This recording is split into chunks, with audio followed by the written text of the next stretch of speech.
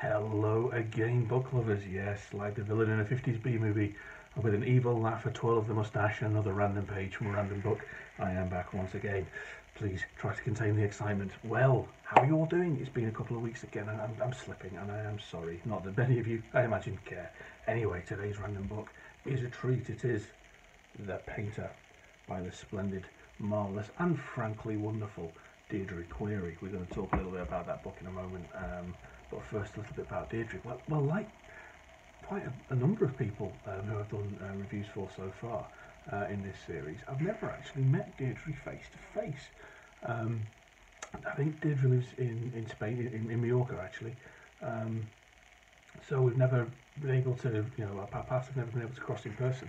But she's someone who, again, right through my own journey uh, as a writer, has been very, um, very supportive and, and um, her, her friendly words and um, sage advice sometimes um, are very, very much appreciated. So again, it is a, a, privilege and a joy to be able to do a little bit of review for her. Deirdre is someone um, who um, writes some of the most unique books I think I've ever experienced. Um, her first book came came out roughly, I think, around about the same time that mine did. Uh, my first book did back in 2015. It was called Eden's Burning, um, and it was an extraordinarily um, emotional and one imagines um, personally um, emotive um, stories. I think I, think I've read it. It was it was a tale of the troubles in Belfast in the 70s. Um, it was a, a, essentially a cast of characters who were at conflict with each other whilst caring deeply for each other, and it was um, you know for, for someone who didn't directly experience those those, those, those events, um, it was emotional enough for me. I can only imagine what it was must have been like to write it. Um, that book was followed up by The Secret Wound, and The Painter, which we're going to read from today, is her third book. Now, The Painter itself, um, this is it. Um, the um, recommendation on the front by Rose McGinty, who's another great author. Um, sinister, mysterious, redemptive. This modern day folklore will haunt you. And as I said, I suppose if you had to categorise it, you'd call it a psychological thriller. Um, but it's, again, as with a lot of books, it's doing it a disservice, in my view, to simply label it as, as that. Uh, I think Deirdre herself considers it modern day folklore, as the uh, as the blurb suggests, and there are many elements uh, within it that you would struggle to nail down to one particular genre. Um, and it's a game, as all with all of Deirdre's works, a very emotive read. Um, essentially, what we're looking at here is um, a first-person journey by a particularly unpleasant individual. So we have um, a chap called uh, Augustine. Um, I, I, I, think, yeah, I'm never sure how to pronounce people's name, whether it's Augustine or Augustine, I'm going to call it Augustine. Um, and we read the story from entirely from his point of view, um, which isn't uncommon in first-person narrative, as you would expect. But what that does is initially deposits the reader pretty much straight away in an, an environment where, frankly, it isn't very pleasant. He, he's, he's, an, he's, he's, an unpleasant man. He's a, quite a dangerous man um, in um, in many respects, and we are invited to essentially share his journey. Um, and one of Deirdre's skills is that we eventually start sympathising with him we see things from his point of view, twisted though it may be, and in a, he ends up as almost as a perverse anti-hero, uh, and we actually start as readers almost rooting for him, which makes us feel a little bit uncomfortable at times. So it, it's um, it's really quite the um, quite a deftly written um, book to to evoke these these, these conflicting um, these conflicting senses. What I also like about it, as again as I mentioned with other books, is I'm, I'm a big fan of when um, the surroundings, the character surroundings, um, don't just aren't just a backdrop to the story, but they are an essential part of the, of the person's growth or integral to the story itself. Um, um, I've, in my blind flailing way, tried to do that when I was writing my uh, Prague series. Um, we've, we've, we've uh, talked about other, other books as well where um, the, the, the city or the country or wherever is, is, is, almost a character in the book. And it's the same here. It's set in uh, Mallorca, where, as I said, where Deirdre lives um, and it's very much of um, of that environment. And the um, the reality, the beauty of Majorca um, is juxtaposed very finely with the, I suppose, chaotic and almost uh, ugliness of the protagonist's psyche, um, which again simply makes uh, for a very, very interesting and enjoyable read. So I'm going to leave it there before we get onto our random page. And I really do encourage you to seek out Deirdre. She is a wonderful, lovely, um, responsive person. I think if you find her, um, a, website, if you drop her, uh, drop her a line, she's, I'm sure she'll get back in touch with you and, and, and be delighted to chat about her work.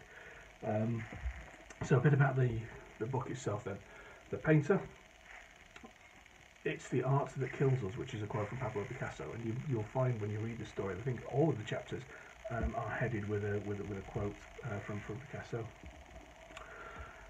In a desire to impress the people who visit his studio, renowned artist The Painter employs a gardener to create an inspirational landscape which includes a labyrinth, an orange grove, and Moorish-inspired fountains.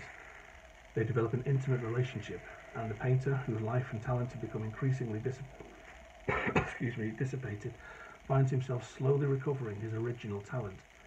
However, the relationship is tainted by the painter's jealousy when visitors express more interest in the magical garden and mysterious labyrinth than in his art.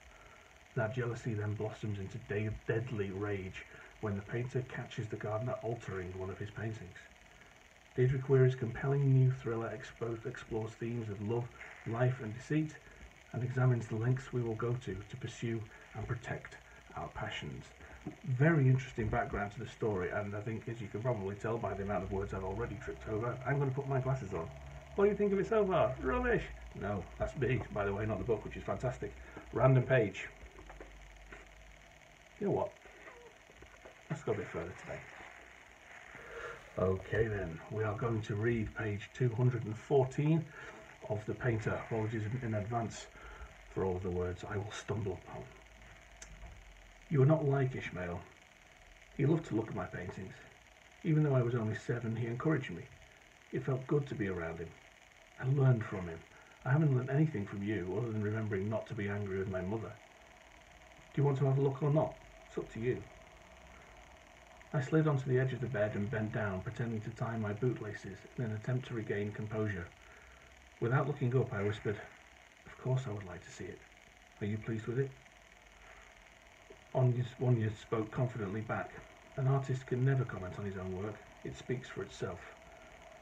I heard his tiny feet press softly onto the wood-tiled bedroom floor, as if he were wearing thick socks.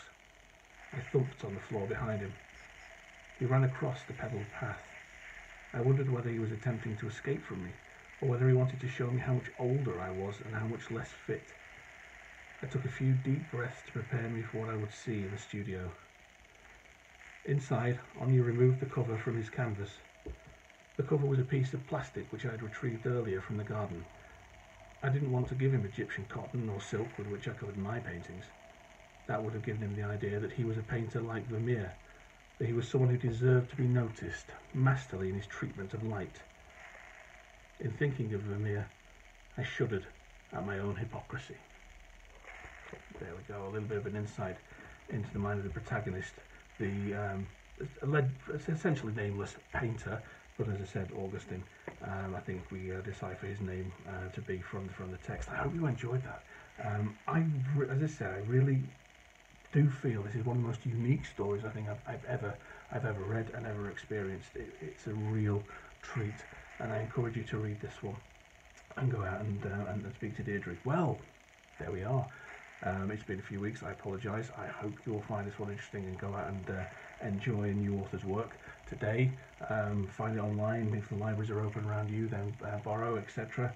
Um, and enjoy it and just keep reading, folks. Um, that's, that's really one of the few things we can we can guiltlessly do at the moment, um, and I encourage you to do so. So, look after yourselves. I will endeavour to be back presently with more random pages, random books, um, and hopefully smoother delivery. Have a good day. Take care.